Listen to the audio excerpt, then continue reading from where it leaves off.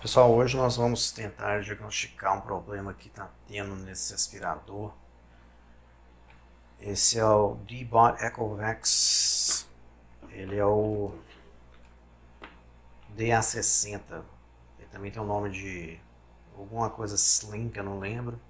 vou colocar aqui na descrição as características dele.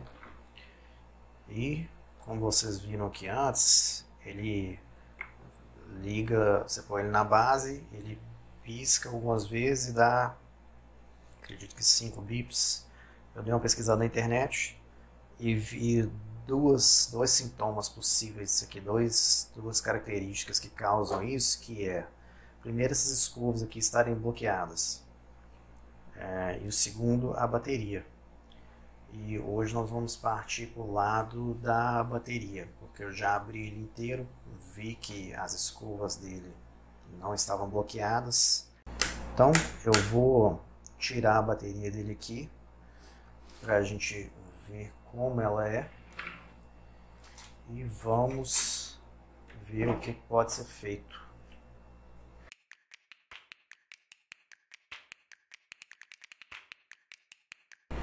Eu já fiz uma pesquisa online dessa bateria antes, para saber o valor dela.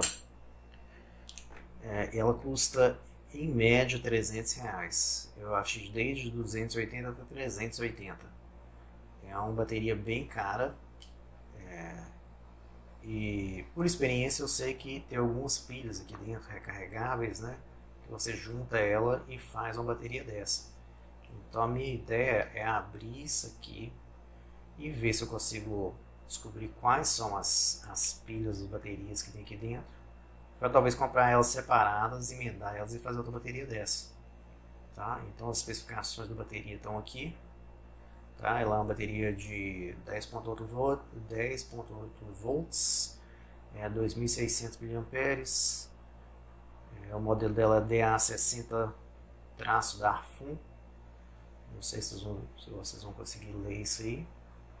E ela é extremamente difícil de achar. É, no Mercado Livre eu achei acho que dois vendedores que tinham ela. É, então, é, não sei se vale a pena para um aspirador desse que já não está mais a garantia. Então, vamos ver como vamos fazer para abrir isso aqui com cuidado para não estragar essa bateria.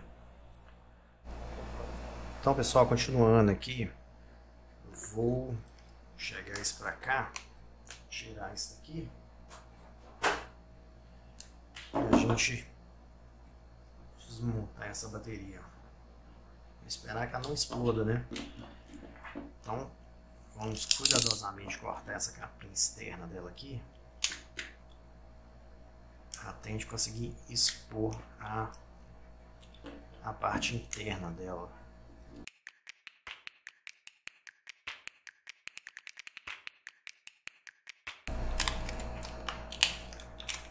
Então olha só, aqui nós já temos as pilhas em si.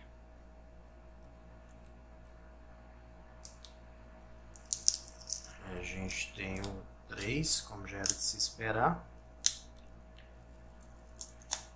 E as conexões delas aqui, ó.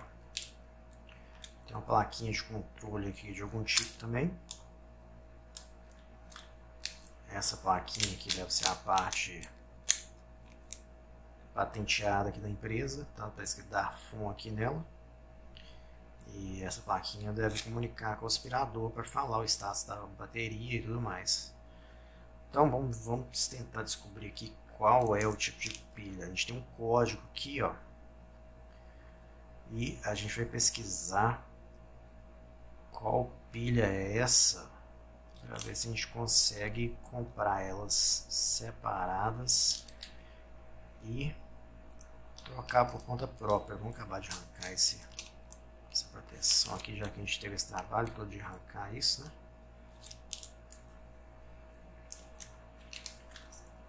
Vamos com cuidado aqui para não estragar ela. Porque nós vamos reutilizar essas peças aqui. Olha, me parece que isso aqui é soldado aqui. É, Dito isso, eu já tentei soldar uma, uma bateria menorzinha tipo de relógio e ela explodiu na minha mão, provavelmente por superaquecimento. Eu não segurei o ferro de solda muito tempo nela, mas é extremamente perigoso isso. Isso era uma bateria bem pequenininha. É, imagina uma de, desse tamanho aqui. Então, é, vou fazer uma pesquisa desse código aqui e já retorno aqui para a gente saber o que, que a gente vai fazer agora. Também tive a ideia de procurar isso no Mercado Livre, só a bateria individual aqui para eu juntar e acabei achando essa aqui que parece ter as mesmas especificações. Essa aqui já vem com os polos aqui com o fio, então a ideia é emendar esses fios e facilitar a minha vida para não ter que soldar direto na bateria. Então olha só, parece ser a mesma especificação e por apenas 18,90 cada uma. 20 reais de frete. Então, se a gente fizer uma conta arredondada aqui, vai dar 60 reais, 80 reais com frete para enviar essas baterias do próprio Brasil e isso que eu vou fazer, eu vou comprar elas aqui e vou tentar soldar elas e reutilizar provavelmente a plaquinha que já está na bateria original. Pessoal, prosseguindo com o nosso, nosso problema de bateria aqui do aspirador, aqui estão as baterias que eu achei no Mercado Livre. É, para tentar resolver isso aqui. Não sei se vão funcionar ou não, mas vamos descobrir. Agora, uma coisa que eu percebi aqui, não dá para ver a polaridade. Eu imagino que seja positivo e negativo. Eu já comprei com esse fio aqui para tentar adiantar meu lado de não ter que soldar aqui. Mas o problema é que parece que vem com uma plaquinha aqui dentro, ó. E pelo que eu vejo nessa aqui não precisa dessa plaquinha, porque quem vai controlar isso vai ser esta parte daqui. Então o próximo passo é a gente abrir essa bateria aqui e olhar dentro dela para ver qual é dessa plaquinha aqui, o que a gente faz com ela. Eu acho que a gente vai tirar ela para soldar aqui direto.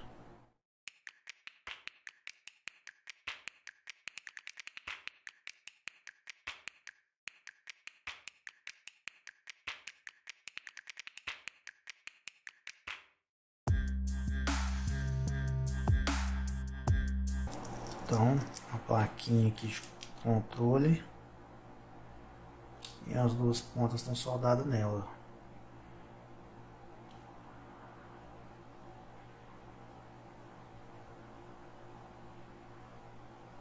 É, o positivo tá aqui. Eu imagino que, bem que agora eu tô confuso, porque aqui a marquinha fica no positivo, ó.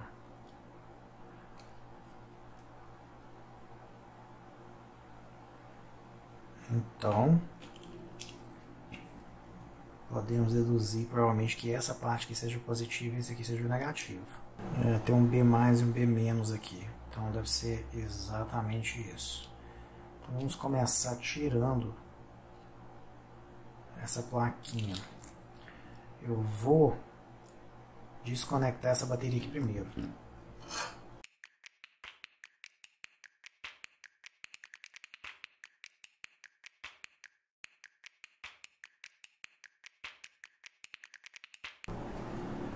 bem, eu acho que melhor, melhor etapa aqui agora é começar desfazendo essas baterias aqui primeiro.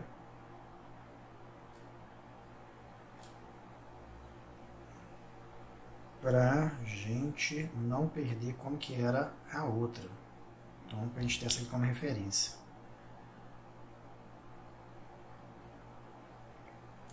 E provavelmente é mais fácil a gente cortar isso daqui do que de soldar aqui nessa bateria do jeito que tá aqui. Porque a bateria está bem próxima aqui. Vamos ver se a gente consegue tirar ela aqui na solda primeiro. Ah, saiu até facilmente, ó. Então, vamos tirar ela aqui na própria solda.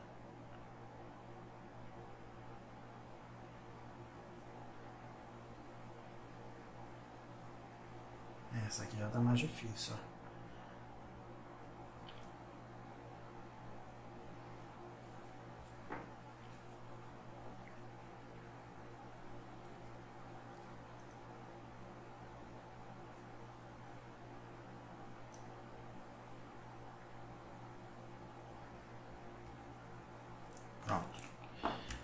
Então, esquenta muito e bateria, você tem que tomar muito cuidado para não superaquecer quando você faz isso. Então, aqui está uma e nós vamos fazer o mesmo com essas outras duas aqui.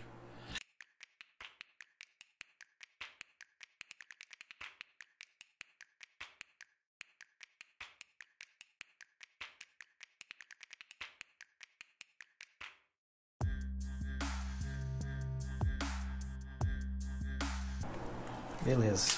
É, eu não quero soldar essas baterias muito diretamente uma na outra, porque eu já explodi uma bateria pequenininha e eu não quero explodir uma bateria gigante.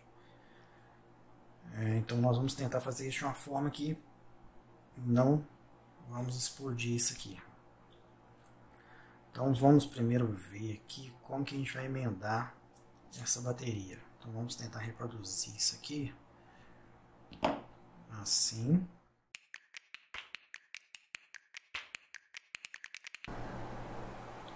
Acho que eu vou tirar uma foto com o celular de como está isso agora para a gente conseguir reproduzir.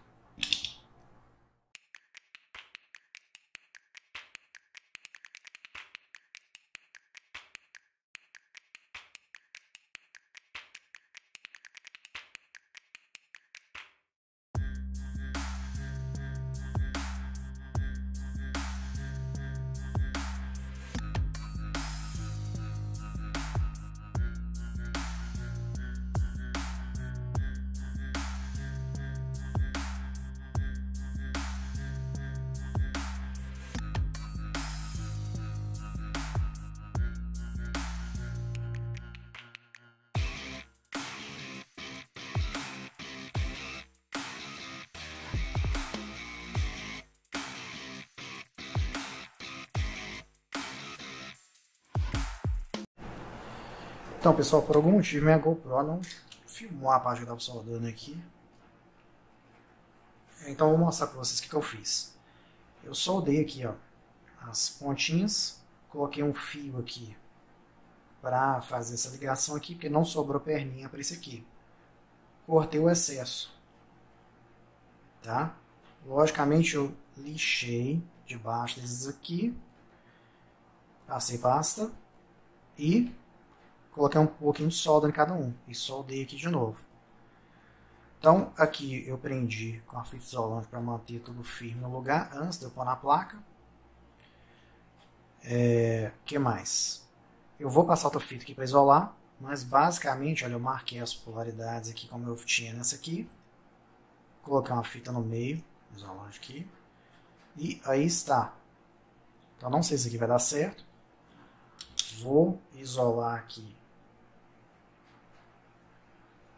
as pontas dela. Vou isolar aqui esses contatos, que eu não quero que eles fiquem expostos aqui. Eu acho que isso aqui, esse sensorzinho aqui, eu acho que isso aqui é um sensor de temperatura, pelo jeito que está aqui. Para não deixar a bateria superaquecer. Então, vou fechar isso aqui novamente.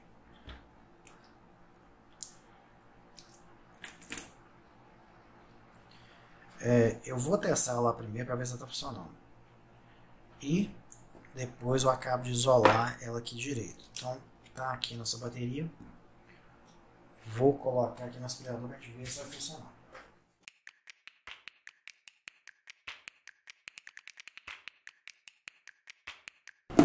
Vamos ligar aqui para ver. Não explodiu. Ele deu um bip legalzinho aqui. A luzinha dele tá ligada. Vou tentar... Vou tirar ele daqui porque eu não quero quebrar tudo aqui testando isso aqui, né? Mas vou levar lá para vocês verem. Vamos lá comigo. Então, vou ligar ele aqui. Não sei o que vai acontecer com ele. Vamos pôr ele aqui. Tá piscando, como se estivesse carregando. Eu imagino que essas baterias estejam fracas. Vamos apertar aqui para ver se ele sai. Então ele saiu, mas não ligou, mas também não deu os bips de erro, né? Então, vou deixar ele carregando aqui para a gente ver o que, que acontece. Se ele vai realmente voltar à vida ou não. E aí a gente vê daqui a pouco. Pessoal, 12 horas, mais de 12 horas depois de carregar, vocês podem ver que ele continua piscando como se estivesse carregando. Se eu me lembro corretamente, essa luzinha fica fixa quando acaba de carregar. Porém, quando você aperta para ele sair, ele até sai, mas aí ele desliga. Eu acredito que o problema da nossa bateria esteja resolvido. Porém, ele está com algum problema além da bateria que está fazendo ele não ligar e continuar andando. Porque antes ele nem carregava, ele ficava apertando vermelho, dava aqueles quatro bips em sequência e a luzinha ficava vermelha, que é indicativo de bateria não carregando. A gente consertando ali, trocando a bateria, é, com nossa bateria Frankenstein ali, ele parece estar tá carregando, acabou erro de bateria, mas ele já estava com esse problema antes de não rodar. É isso aí, então aqui está nossa bateria remanufaturada, o D-Bot Slim DA60. Testei essa bateria com multímetro e é, parece que está chegando um pouco mais de 13 volts nela. Eu sei que está além da especificação da original, mas não acho que isso vai ser um problema. Quer dizer que realmente está carregando na base normalmente. Isolei ela aqui direito e acho que é, por enquanto está valendo a pena, considerando que a original, é, ou nem a original, né, a que eles vendem na internet, custa, é, como eu disse antes, entre, entre 280 e 380 reais. Nós conseguimos montar essa aqui por um pouco mais de 80 reais. É, e parece ter resolvido o problema. Eu acho que o problema do aspirador, além disso aqui, na realidade era o motorzinho dele, que eu estou diagnosticando também.